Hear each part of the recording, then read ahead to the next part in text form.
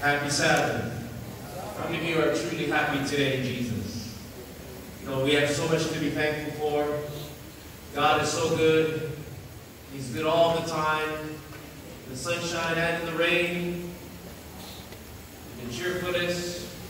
When things are going smoothly, but also the difficulties of life. God is always faithful. God is always good. And praise His holy name that we can be together as a family in His presence today. I just uh, want to bring you greetings from the beautiful islands of Hawaii. How many of you have ever been to Hawaii before? Anyone been to Hawaii before? Uh, how many of you wish you'd been to Hawaii before? you know, Hawaii is a little island in the middle of the Pacific Ocean. That's where my wife and I are from. And uh, we have a ministry called the Revelation Hope Ministries where we get to travel and do evangelism. And uh, this past year has been a very busy year for us. Uh, this is actually our 12th country that we visited this year uh, doing ministry, and we're so glad to be here in the beautiful land of India with beautiful people to share this beautiful time together. Uh, this morning's presentation is going to be different from what, is, uh, what you find in the bulletin. The Holy Spirit inspired me to share something a little bit different, but I trust that God is going to speak a special message to each one of us today. You know, uh, according to man's plan, I wasn't supposed to be here today. We were invited to speak at the IYC in the Northeast because of the unrest. Unfortunately, those meetings had to be canceled. The Lord opened the way for us to be here this weekend with you. And I believe that the Lord is wanting to communicate a special message to someone here today. And I invite you to open your hearts and minds to hear God's voice speaking to you as an individual as we deal with this very serious and solemn subject this morning entitled The Solemnity of a Single Choice. Please take your Bible and turn with me to the book of Deuteronomy chapter 30. As we begin our study this morning, we go to Deuteronomy the 30th chapter, where we read these powerful words of Scripture from the Lord appealing to the hearts of humanity. Deuteronomy chapter 30, notice the Bible says, beginning with verse 19. Deuteronomy chapter 30 and verse 19. Before we read this, let us pray. Dear Lord, we hope in your holy word. And again, we pray that you'll open our hearts and our minds, open our eyes and our ears, that we might be receptive of this truth.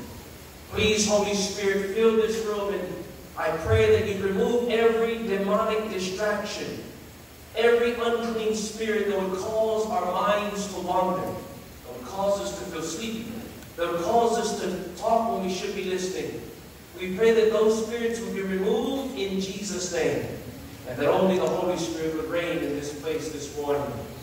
Lord, I pray that you please hide me behind the cross. Speak to me and speak through me. And I pray that we would all be blessed as a result. In Jesus' name we pray. Amen. Deuteronomy 30 and verse 19 it says in Deuteronomy 30, verse 19, I call heaven and earth to record this day against you, that I have set before you life and death, blessing and cursing. Therefore choose life, that both thou and thy seed may live.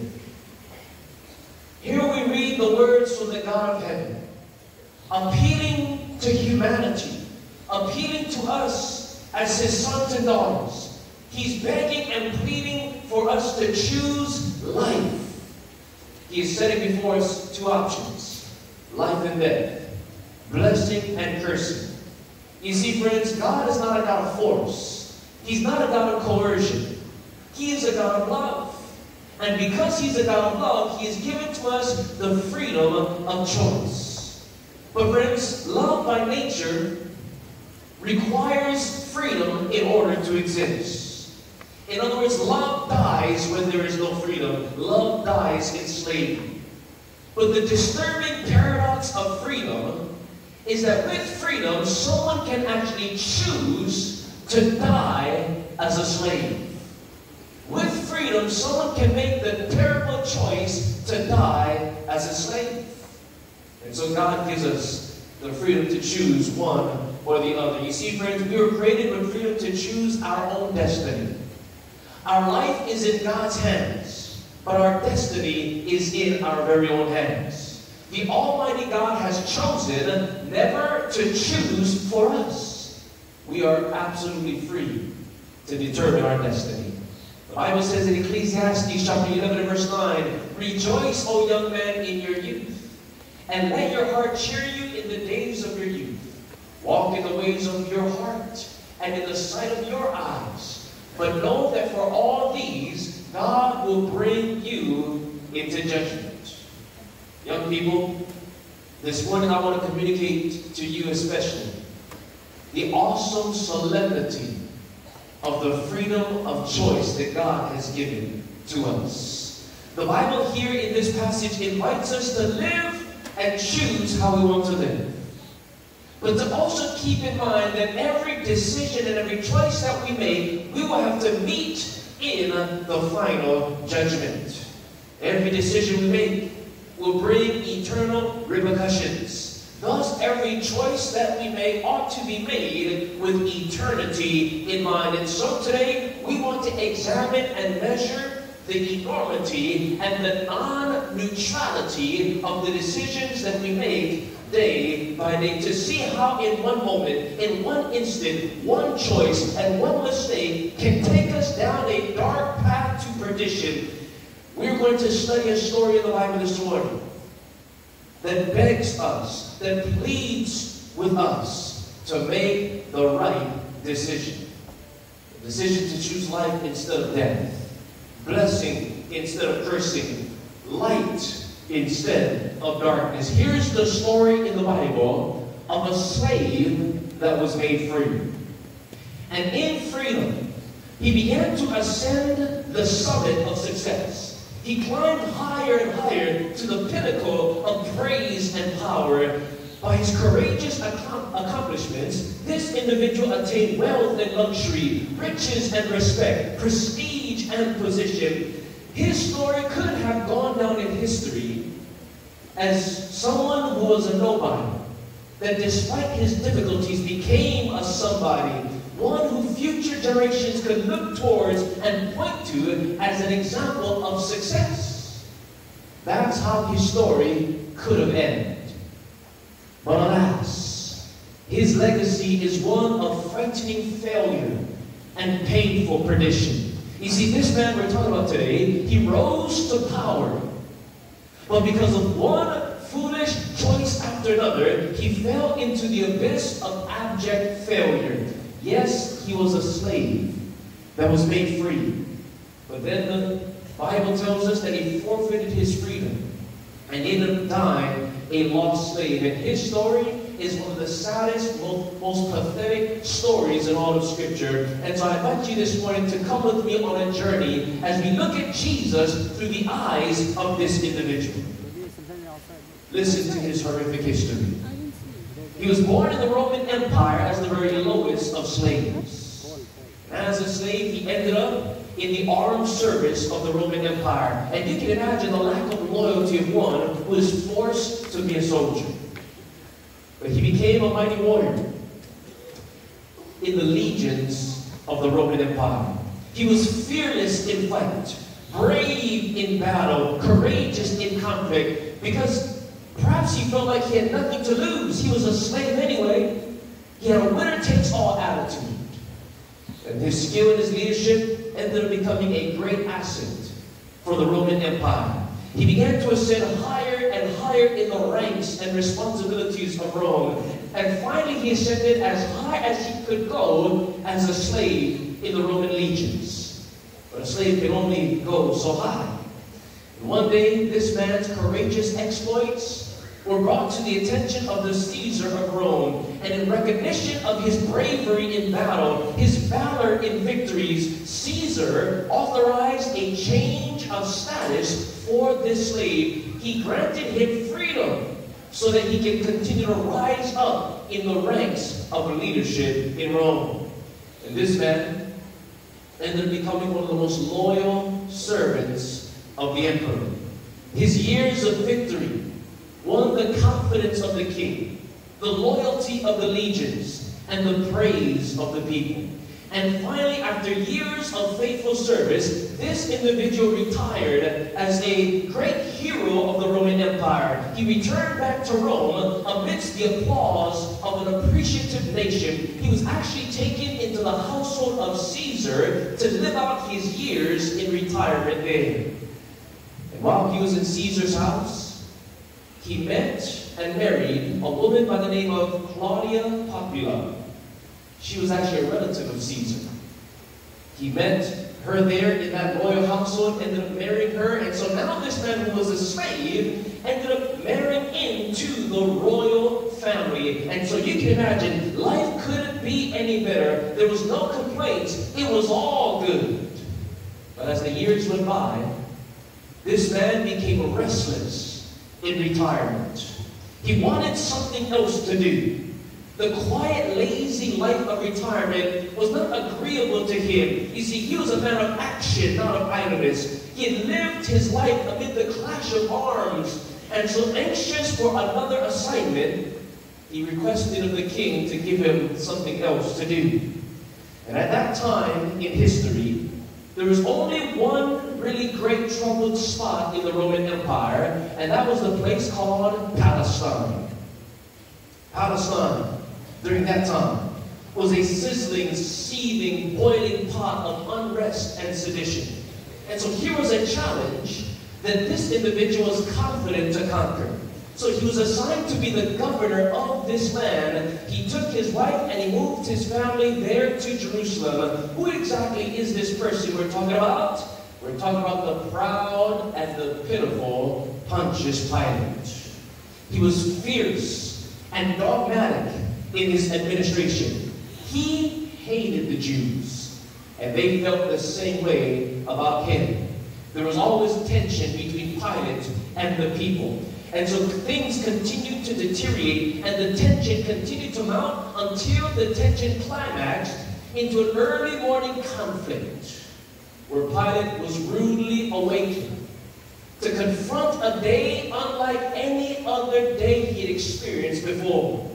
Because on this day, Pilate was brought face to face with decisions, choices that he could not avoid, things that he had to decide. What to do with the man that was brought before him. A man that he did not realize would end up changing his eternal destiny. You see, little did he know that the decisions that he would make on this day would determine his destiny. And what we're going to see as we open God's Word this morning is that Pilate made 10 miserable mistakes. How many? How many? I hope you're listening carefully with your ears and with your heart this morning.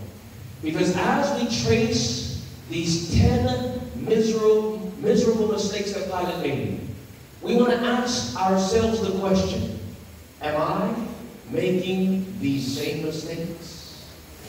And so it's a message this morning that invites us to search our hearts, to take inventory of our lives, to afflict our souls. Please take your Bible to, and turn with me to the book of John chapter 18. John chapter 18, we, where we find Pilate confronting this day of mistakes. I can imagine that when Pilate was awakened that morning, he had to be irritated. He was disturbed from his sleep and summoned by the very people he passionately hated and held in utmost contempt. And so when Pilate woke up, he was irritated and he was anxious to take care of business so he could go back to sleep. But here was the situation that required more than a quick fix. What exactly happened on this day? We pick up the story in John chapter 8, beginning with verse 28. John 8, verse 28. And if you're there and if you're ready to study the Bible this morning, would you please let me know by saying amen? John 8, 28. The Bible says this. Then they led Jesus from Caiaphas unto the hall of judgment, and it was early. To be exact, it was 6 o'clock in the morning. It was early. It says, And they themselves went not into the judgment hall, lest they should be defiled, that they might eat the Passover. So here Pilate is rudely awakened by the Jews. The Bible tells us that they are bringing a man to him by the name of Jesus on the day of the Passover. But the Jews refused to enter into this Gentile court on their holy day. Why? Because entering into this Gentile court would have rendered them ceremonially unclean and would have forbidden them of eating the Passover lamb. Can you imagine that? What hypocrisy. They're so concerned with their ceremonial uncleanness uh, when all the while their hands are dripping with the blood of the true Passover lamb, Jesus Christ. And I want you to notice their indictment towards Christ. Verse 30. They answered and said to him, actually, verse 20, 29. They didn't go in, so Pilate came out. Verse 29, Pilate went out to them and said, What accusation bring you against this man? They answered and said to him, If he were not a malefactor, we would not have delivered, delivered him up unto thee. My friends, let me ask you, what's missing in what the Jews just said to Pilate? Pilate is asking what the accusation is, and what's missing in the response? The real accusation. The Jews simply say, if he were not guilty, we would not have brought him to you. They're not, uh, they're not making it clear what their accusation is. And here's the reason, friends, is because they knew that Jesus was not worthy of death in the eyes of the Roman court. The Jews did not want to have a trial. They feared a trial because they knew that they could not substantiate their accusations. They wanted Pilate to ratify the death sentence in haste. They wanted to skip all the preliminaries. They thirsted for the blood of, of Jesus. And so they came to Pilate that morning, seeking a favor from, from him on the day of their national holiday. And by saying to Pilate, if he were not guilty, we would not have brought him to you. They're trying to impress Pilate with the sense of their importance. In other words, if we, the most important people in Israel, bring someone to you, then they have to be guilty because we wouldn't do such a thing. Take our word for it, in other words, is what they're saying. And Pilate responds in verse 31, and he said to them, You take him and judge him according to your law. But then the Jews said to him, It is not lawful for us to put a man to death. My friends, here we find Pilate's first mistake. And I hope you write it down. Pilate was not interested in knowing the truth. As a judge, it was his responsibility to know exactly why this criminal was brought before him. And so instead of investigating. Instead of asking questions, he simply said, You take him and you judge him. In other words, Pilate was indifferent. He wasn't really interested in finding out the truth. He did not sense the solemnity of the situation. He didn't consider this situation a matter of high priority. He felt that there were other things more important than this. Surely this was not something to lose sleep over. And friends, many people are making the exact same mistake today. You see, Jesus, through his word, knocks at the door of our hearts. But many people are not interested in knowing the truth. Many people are not interested to hear what Jesus is trying to say. Why? Because we feel like there are more important things than eternity. We feel like there's things that are more urgent, more, more urgent. And this is a temptation, especially for young people. Many times as young people, we think to ourselves, when I get older and I can't do anything else, then I'll investigate the truth. Then I'll give my life to Jesus. But let me have fun first. Let me establish my career. Let me get married. Let me do this and that. Let me live my life how I want to live first. And then later on, I'll find out what the truth is. But like Pilate, friends, it is our responsibility to search out and to know the truth. Choosing to sleep in the darkness of ignorance will not afford us an excuse in the judgment. The Bible says that God's people are destroyed because of lack of knowledge. Not because the knowledge is inaccessible. It is accessible. Why are they destroyed? Why is there lack of knowledge? It's just because thou hast rejected knowledge. I will also re reject thee. When we cast the truth down to the level of unimportance. That, my friends, is a dangerous mistake. Listen carefully, friends, there's nothing more important than truth. More important than the school you go to, the career you pursue, the place that you live, or the person that you marry, is to know what is the truth for yourself. Because Jesus promised us that only when we know the truth, we will experience the freedom that the truth can bring. And so Pilate, his first mistake, he wasn't interested in finding out what the truth was. He said to you judge him according to your own law. But then the Jews say, but our law does not permit us to put someone to death. That belongs to the, in the jurisdiction of Rome. And so Pilate realizes that this is a life and death situation. But friends, we have to understand that Pilate was not a just judge. Many times in history, Pilate had delivered innocent men to their death without a second thought. As a hardened pagan Roman, he did not value the sanctity of life. He didn't so much care about justice, he cared more about his position and his power. But on this day, with this criminal, with this victim, something held Pilate back from his common cruelty. There is something different with this situation. There is something different about the accusers as well as the accused. Because this man that stood before him did not look like the other criminals that he had seen day by day. You see, when Jesus stood before Pilate, and when Pilate's eyes fell upon Christ for the first time, strange feelings began to stir up within his heart. Because when he looked into the face of Jesus, he saw something in the face of Jesus he had not seen in any other face before. He saw in Jesus' face a serene calmness, an innocence, a purity.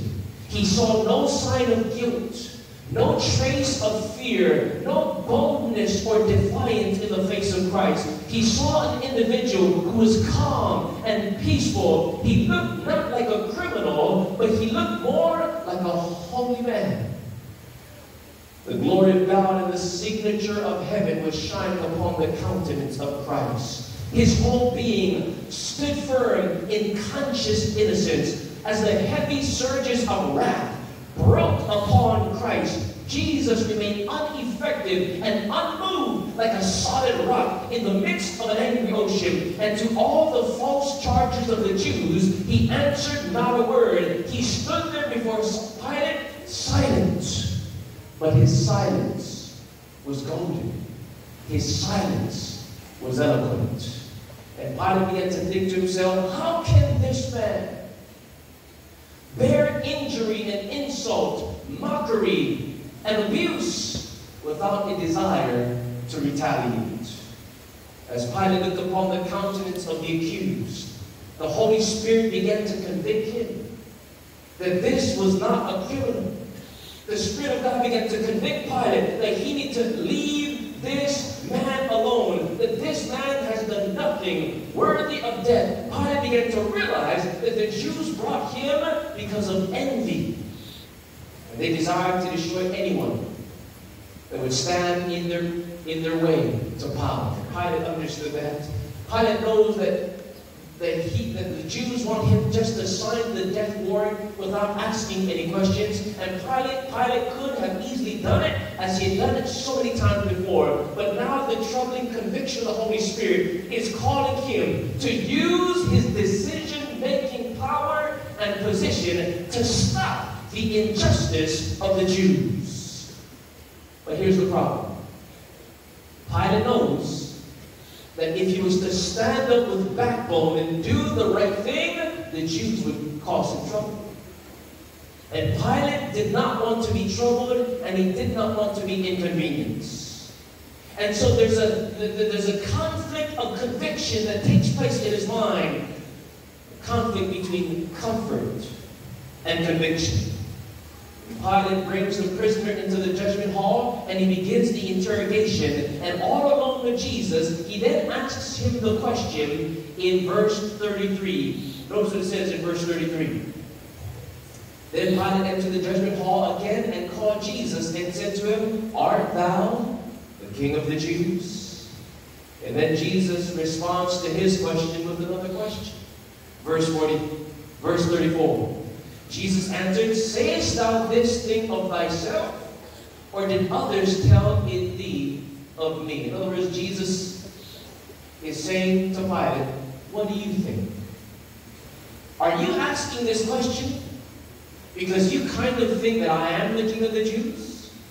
Or are you simply asking this question because that's what somebody else told you about me? Now, friends, why is Jesus asking Pilate this question?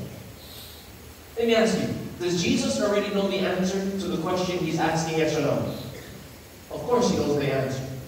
So why is he asking if he already knows the answer to the question? Well, here's the reason, friends. Because as Jesus looked upon Pilate, Jesus could see beyond the outward exterior, he saw that Pilate had a little bit of faith in his heart.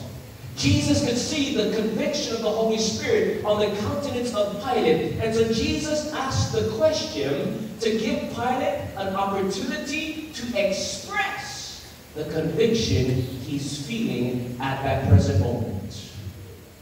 Why? Because expression deepens impression. You see, Jesus wanted to save Pilate, and he knew that there was hope for him and salvation, friends, first begins when we yield to the conviction of the Holy Spirit. And so now Jesus asked Pilate the question, and now Pilate is brought face to face with another choice. His choice, will I be vulnerable and share the conviction of my heart? Or will I resist the conviction of the Holy Spirit? How he answers the question of Jesus will set him down a path of life or death. What does Pilate do? Verse 35. Pilate answered, Am I a Jew? Thine own nation, the chief priests, have delivered thee to me. What hast thou done? My friends, notice. Pilate's pride forbade him from becoming vulnerable. And here is Pilate's second mistake. Write it down. Second mistake number two, he ignored the conviction of the Holy Spirit. He refused to answer the question and acknowledge the conviction of his heart. He refused to respond to the first promptings of the Holy Spirit. And friends, many people are making the same mistake today. You see, friends, the job of the Holy Spirit is to convict us of truth and error. It is to convict us of right and wrong. The Holy Spirit comes to us in different times and in different ways. When you're on the internet and you're looking at a website that you ought not to be looking at, it's the Holy Spirit's job to say, you should not be looking at this. When you're dating a non-Christian or a non-Adventist and you're unequally yoked, it's the Spirit's responsibility to convict you and make you uncomfortable in that relationship, saying, you should not be or when you skip church to attend a secular event, in moments like these, when the Spirit of God convicts us of the truth, we are brought face to face with two options. Either we, we will acknowledge the conviction and yield to the Holy Spirit, or we will ignore the conviction to do our own thing. And friends, that's what Pilate did. He ignored the conviction. And this mistake may seem small, but one mistake leads to another. Resisting the first time makes it easier for us to resist the second time. But Jesus kept working with Pilate, and he said to him in verse 36, My kingdom is not of this world. If my kingdom were of this world, my servants would fight, so that I should not be delivered to the Jews. But now my kingdom is not from here. So Jesus assures Pilate that he does not need to be afraid of the accusation of the Jews. That his kingdom is not a kingdom that is worldly, that has mountains and rivers for borders. His kingdom is a heavenly kingdom. Christ did not come to seek for political power, but rather he came to set up a, a, a, spiritual kingdom of grace in this world. So what then is the nature of his kingdom? Verse 37, You say rightly that I'm king, for this cause was I born, and for this cause I've come into the world, that I should bear witness to the what, everyone? To the truth. Everyone who is of the truth hears my voice. My friends, when, when Jesus said that, Pilate's suspicion is suspended. And now his curiosity is aroused. And now Pilate responds to Jesus and he asks Jesus the question of all questions. My friends, listen. This has to be the most profound question that anyone has ever asked Jesus. Pilate asked Jesus, What is truth? If your kingdom is a kingdom of truth, then what is truth? And friends, we have to understand that from the very beginning of time, man has searched for the answer to that question. But now, the very one that can give Pilate as well as us the absolute answer to that question is standing right in front of him. He asked Jesus, What is truth? But in the very moment he asked the question, the very moment that Pilate was opening, was open to receive the answer to the question, what is truth? The very moment he was open to the truth, the devil brought a deafening distraction. Because on the outside, the Jews were listening to the conversation of Pilate and Jesus. And they could hear the conversation. And, and when Pilate asked that question, all of a sudden the Jews, afraid that Jesus would slip through their hands, began to make a lot of noise. And Pilate was distracted when he heard the shouts of the crowd. And when he heard the shouts of the crowd on the outside of the judgment hall, he was brought face to face with another choice. His choice either stay with Jesus and listen to how Christ, Christ answers his question, or respond to the noise of his ears and listen to the shout of the crowd. And tragically, Pilate made the wrong choice. Instead of listening with his heart to Jesus, he listened with his ears to the crowd. He leaves the presence of Jesus without hearing how Christ would answer. And now the golden opportunity has passed. Here is Pilate's third mistake. Write it down. Mistake number three. He allowed himself to be what? Distracted from the truth. You see, Pilate didn't have to leave the presence of Jesus and go and, and, respond to the crowd, but he chose to turn away. Have you done this? Are you doing this right now? You see, my friends, in a similar way, Jesus wants to reveal to us the truth, but the devil works overtime to stop our ears from hearing it. We live in a world of constant demonic distraction.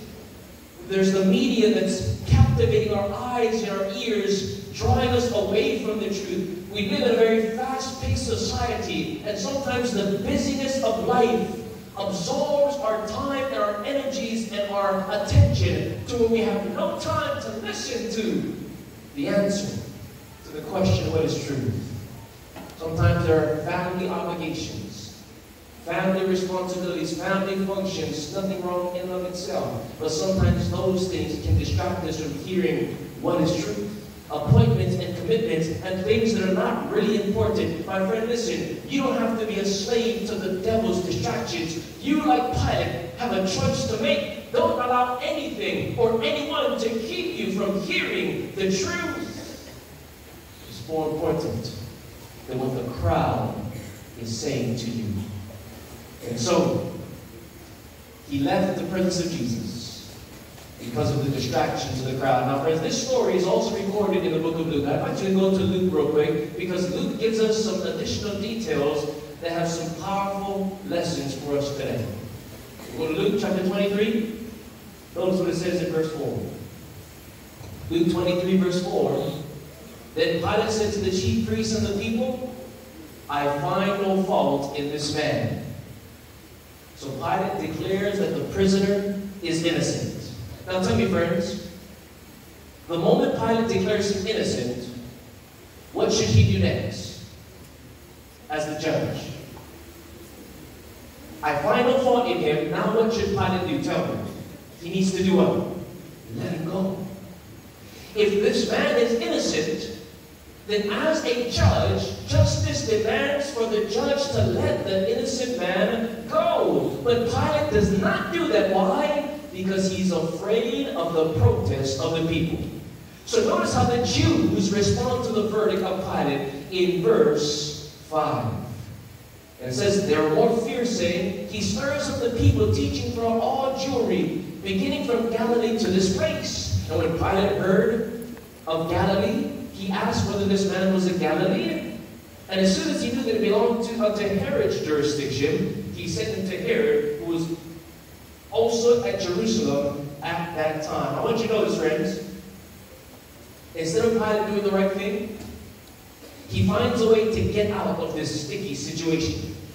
Instead of letting Jesus go, he sends him where? To Herod. Why? Not because he needed Herod's help. Pilate had the authority to make the decision as judge.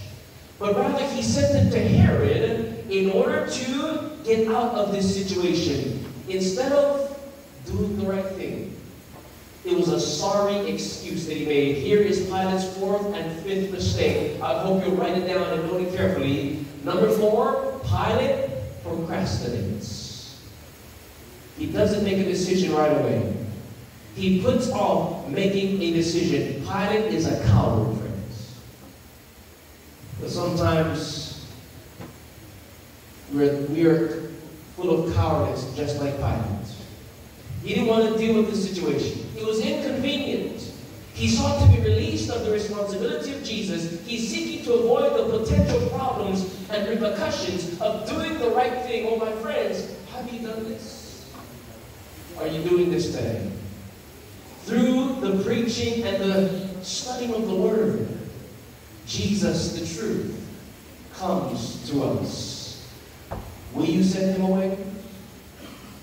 Will you put off making a decision and brush him off as unimportant? My friends, before it's over, everyone will have to, to decide for themselves what they will do for Jesus. It's not something we can put off for eternity. It's not a responsibility we can ever escape from. Procrastination will lead to perdition. And Pilate's fifth mistake is that he also tried to remain neutral about the situation.